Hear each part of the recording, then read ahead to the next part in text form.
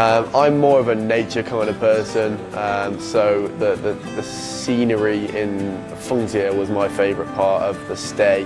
Um, the, the highlight of that being the peak of the Three Gorges, because that is the, the most beautiful landscape I've ever seen, uh, because you're able to see the two rivers meet um, and also the, you know, just the most incredible view.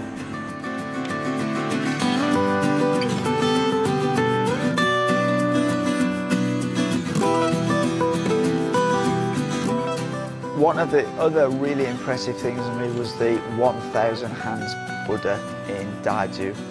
And that was like spectacular. You know, it's been restored by the, the local authorities and it's just fantastic. You know, it's been restored to its full. I've never seen anything like that. It's massive.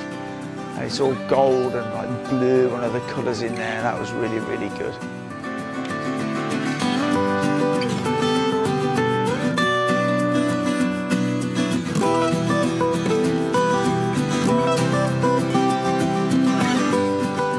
Really diverse. Uh, there's a lot to do here. And if you wanted to come for a holiday, you could easily fill your holiday with uh, very different things to do for like two weeks, no problem. Yeah, it's a pretty cool city. There's a lot going on here. There's a lot to do. There's a lot to see. Definitely should come here.